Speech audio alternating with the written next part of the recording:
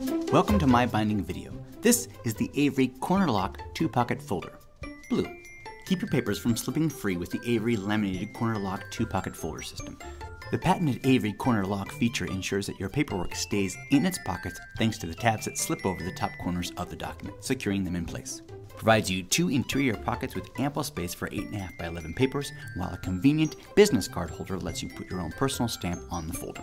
Loaded and locked in place, that's the Avery Corner Lock 2 Pocket Folder. For more demos, reviews, and how-tos, check out mybinding.com.